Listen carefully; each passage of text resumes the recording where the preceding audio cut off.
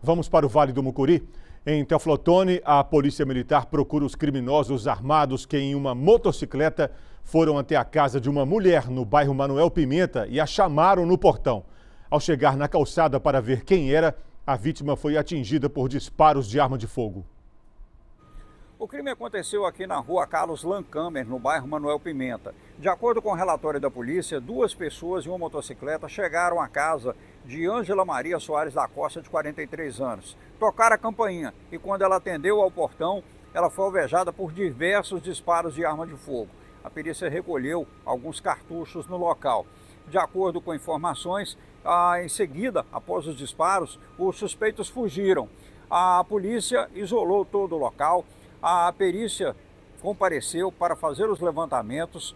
A Polícia Militar e também uma equipe da Delegacia de Homicídios começaram os levantamentos junto à comunidade.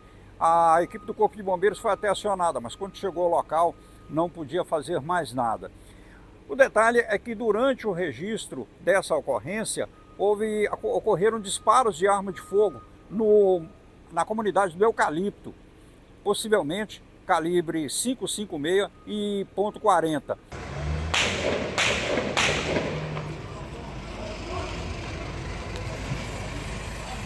A polícia foi imediatamente para o local, mas não conseguiu identificar os suspeitos.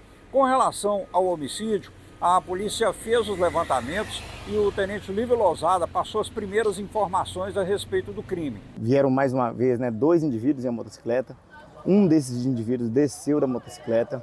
Quando ela foi atender no portão, ela foi vítima de disparos de arma de fogo. Nós temos informação de que ela estaria envolvida com uma das facções. É, isso, pode, isso pode ser uma, um dos motivos é, dela ser, ter sido vitimada hoje. Ainda como eu disse a vocês, é bem prematuro essa informação. Só que existe sim relação dela com o envolvimento com a facção aqui da cidade. É fato que a, a região do bairro Eucalipto é, está vinculada a uma facção criminosa na, na, que atua na cidade né? e ele é um espaço de disputa de território. Então hoje o bairro do Eucalipto é uma disputa de território entre facções e é marcado justamente por essa, essas cenas. De acordo com o Tenente Lousada, a mulher tinha envolvimento com atividades do tráfico de drogas, mas não se sabe se o ataque a ela foi do mesmo grupo ao qual ela pertence ou de um grupo rival. A atuação dessas facções ela, ela é muito imprevisível. Né? Então ela pode ter sido talvez vítima da própria facção cobrando alguma dívida, ela pode ter vítima, ter sido vítima da outra facção é, é, reivindicando um território. Então ainda essa informação nós não temos. A polícia vai contar agora com informações de populares através do Disque Denúncia para tentar esclarecer esse crime. E o detalhe é que no local aqui já é, essa região, é o quarto homicídio que acontece esse ano.